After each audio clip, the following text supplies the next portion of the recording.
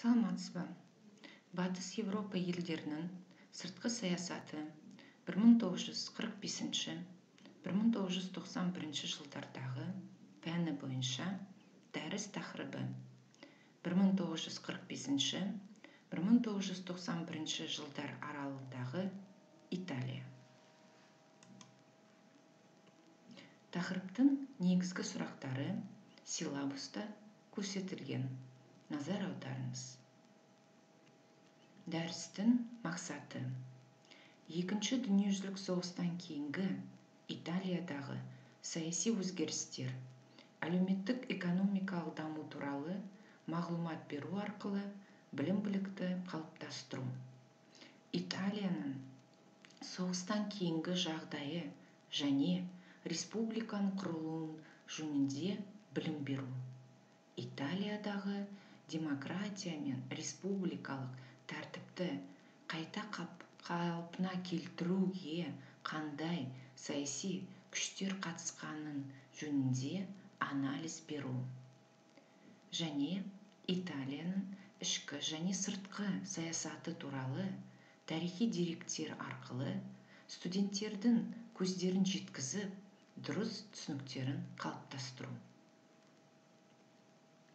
Құрметті студенттер Э, осы слайдта италияның соғыстан кейінгі сыртқы саясатының негізгі бағыттары соның ә, сіздің назарыңызға карта ұсынылған. Италияның карта және еуропа елдері. Италия мемлекетінің туы ә, италия мемлекетінің ескерткіштері көрсетілген.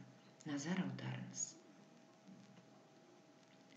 1946 жылдың мамыр айында виктор иммануэль үшінші италияның соңғы патшасы болуға тағайындалған ұлы умберто пайдасына шешілді.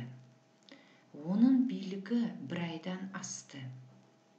Екінші маусымда ел монархиясы болсын республика болсын ба плебисцит өткізілді. Құрметті студенттер осы слайдта италия мемлекетінің соңғы династия королі виктор эммануэль үшінші көрсетілген. Назар аударыңыз. 1946 жылда екінші маусымда италия елінде референдум өтті.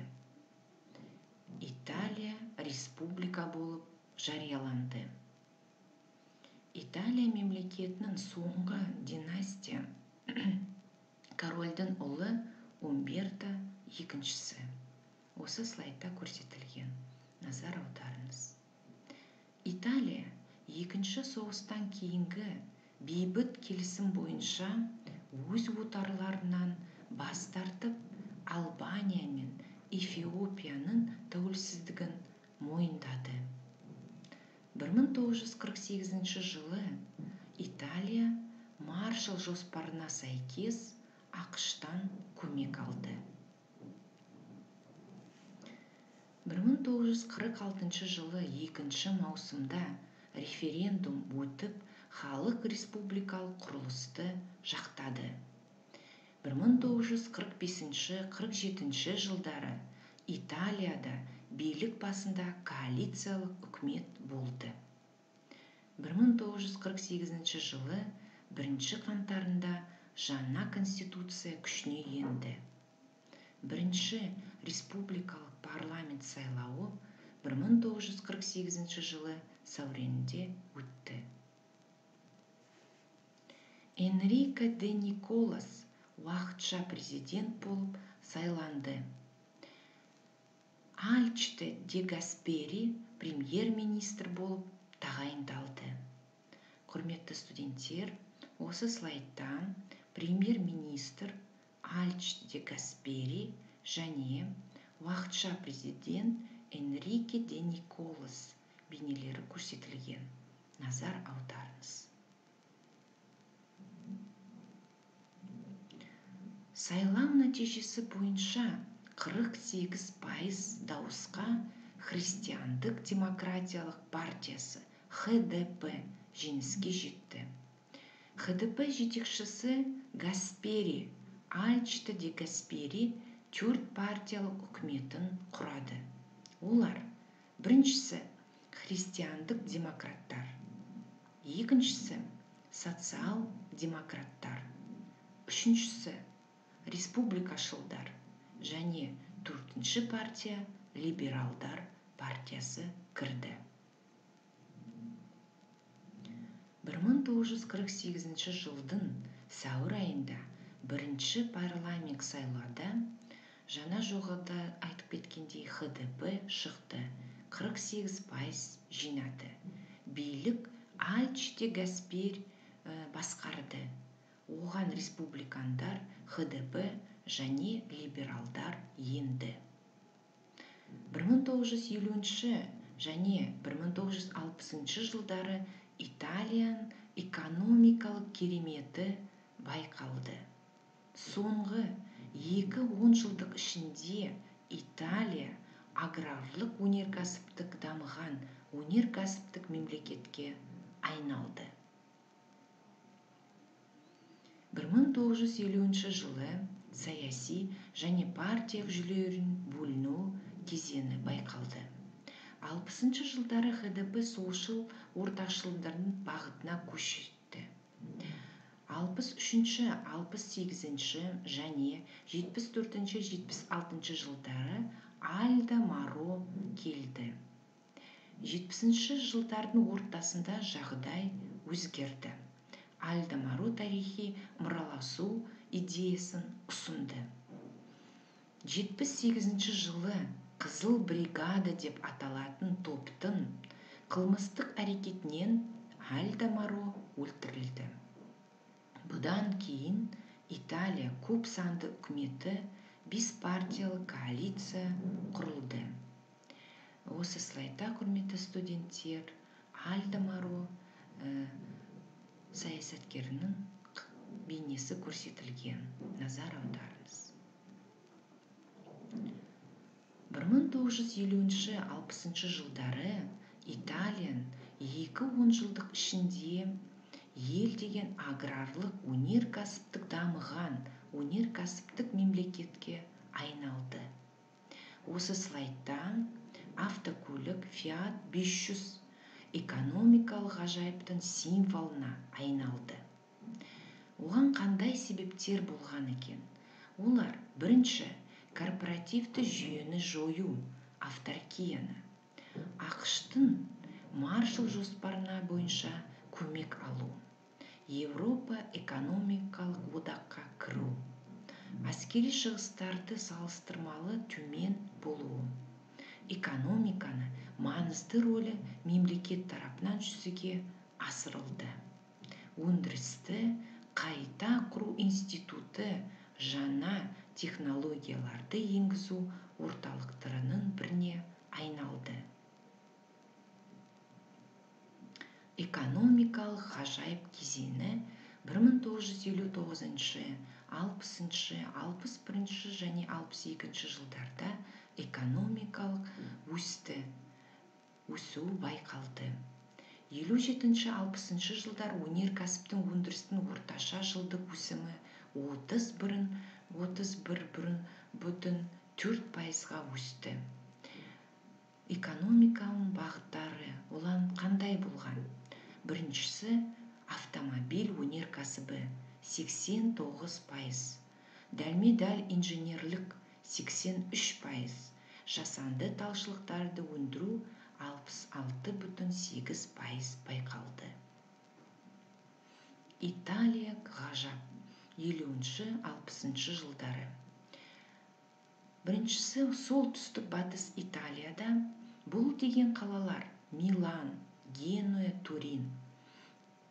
Автокөлік химия компьютер авиация және тағы басқа экономикалық салалары дамыды. Екіншісі солтүстік шығыс және орталық италияда бұл деген қалалар таскана Эмилия Романия деген венецияда. Экономикалық салалар дамыған керамикалық тақта киім аяқ киім үшіншісі бұл деген оңтүстік италия бұл деген қалалар неаполь сицилияға дейін өнеркәсіптер өте жоғары дәрежеге жетті. Жиырмасыншы ғасырдың сексенінші тоқсаныншы жылдары италиядағы саяси және экономикалық өзгерістер байқалады. Италия мемлекеті негізі еңбек болып табылатын демократиялық республика деп 1947 жылы қабылданған конституцияда айтылған. Әкімшілік құрылымысына ә, бірліктің үш түрі кіреді. Бұл деген біріншісі аймақтар екіншісі провинциялар және коммуналар яғни муниципалитеттер деп. Президент сайлау қорытындысы бойынша премьер-министр тағайындалады. Премьер-министр үкімет құрамын құрып оны президентке сонан соң парламентке бекітуге ұсынады. Экономикалық ғажайып кезеңде италия аумақтарының даму және өсімі байқалады. Италия әлемдегі аса жоғары дамыған жетекші елдерінің бірі. Ұлттық табыс көлемі бір мың жүз қырық алты бүтін екі миллиард ақш доллары. бір мың тоғыз жүз тоқсан жетінші жылы жағынан дүние жүзінде ақш қытай жапония германия франциядан кейін алтыншы орында оны жан басына шаққанда үшінші орына ие болады. Экономикасында шет елдер капиталының үлесі үлкен. Экономикасында негізгі салалары бұл деген. Машина жасау автомобиль жасау металлургия тамақ химия тегін байқалады. Соңғы жылдарда италия роботтар мен электронды жабдықтар өндірісі тез дамып келеді. Ауыл шаруашылығы жоғары деңгейде дамиды. Астық өнімдерінен бидай жүгері күріш еуропадағы бірінші орын алады. Оған қоса жеміс жидек жаңғақ жүзім 90 пайызы шарап жасауға жұмсалады және помидорлар өсіріледі. Италия белгілі аса ірі туризм орталығы. Жылына елу миллионнан аса адам туристер келеді. Италия елі сыртқы сауда мөлшерлері бойынша дүние жүзінде алтыншы орынға ие болады. Сыртқы саудада негізгі әріптестері еуропадық одақ елдері. Ең алдымен бұл деген германия франция ұлыбритания. 40 пайыздан астам. Ақш 7 пайыз. Жапония орталық және шығыс еуропа елдері және тағы басқалары.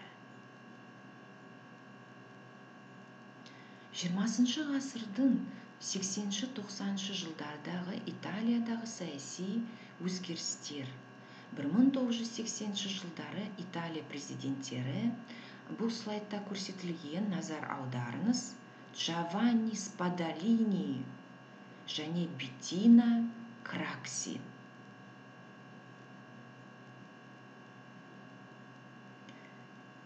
Кассига италияның сегізінші президенті.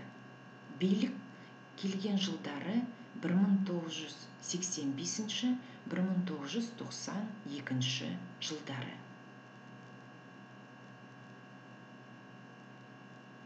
Италияның сыртқы саясаты екінші дүниежүзілік соғыстан кейінгі жылдардың басынан бастап европеизм және атлантизм принциптеріне қалыптасты. Италия халықаралық аренасындағы негізгі бағыттары оның нато және евро европалық одаққа жақындастығы байқалады. Алайда мемлекеттегі солшылдар күштерінің зор беделі билеуші топтарды сыртқы саясаты құру барысында олардың позицияларын есепке алуға мәжбүрледі елуінші сексенінші жылдары шебінде италия ксро мен ұзақ мерзімді сауда және коммерциялық келісімдерін жасаған батыс мемлекеттерінің бірі болады.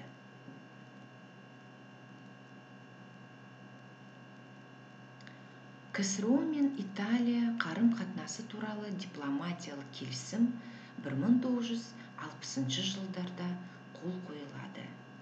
Италия елшілерінің хельсинкиде қорытынды келісімге қол қою сәтінен 1975 жылы. Құрметті студенттер осы слайдтарға назар аударыңыз.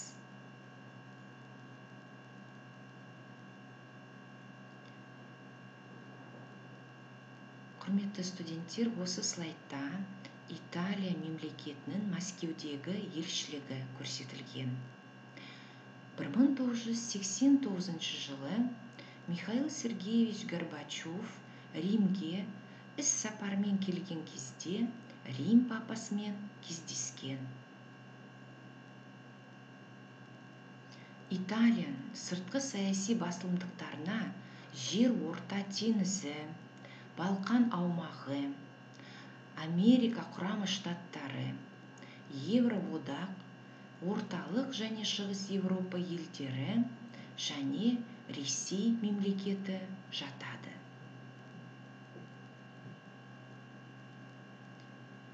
Ғылым және мәдениет жастар қайраткерлері кәсіпкерлер мен өзара қатынастарын орнатып дамиды италия республикасы мен қазақстан республикасының арасындағы қатынастар тарихы. Италия мен қазақстан арасындағы дипломатиялық қарым-қатынастар 1992 жылы 12 маусымда орнатылды.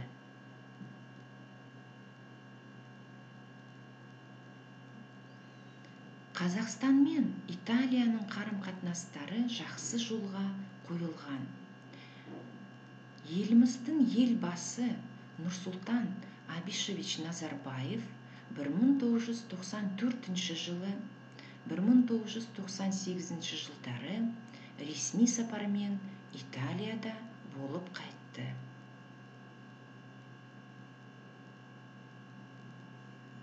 Италияның саясаткерлері арасында италия қазақстан серіктестігін дамыта түсу ойы берік қалыптасқан.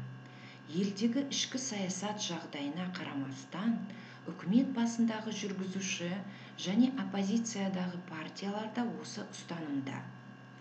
Екі ел қазақстан италия ел арасындағы халықаралық маңызды мәселелер. Оның ішінде азия қауіпсіздігін қамтамасыз ету мәселелері жөнінде екі ел көзқарасының сәйкес келетінін италияның ресми тұлғалары да құптады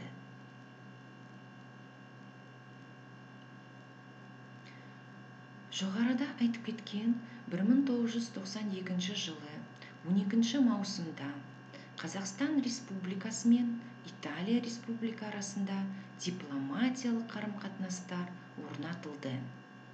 1992 жылы қазанда италия республикасының қазақстанда елшілігі ашылды. 1996 жылы қазақстан республикасының италияда елшілігі ашылды. 21 ғасырдың басында қазақстан республикасының италиядағы төтенше және өкілетті елшісі болып елемесов азамат тағайындалды.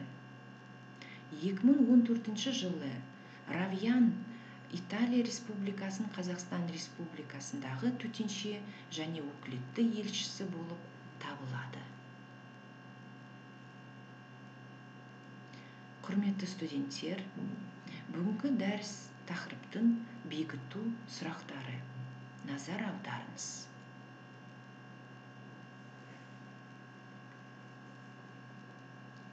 Бүгінгі дәріс тақырыптың италия 1945 1991 жылдардағы дәрісі бойынша ұсынылатын әдебиеті.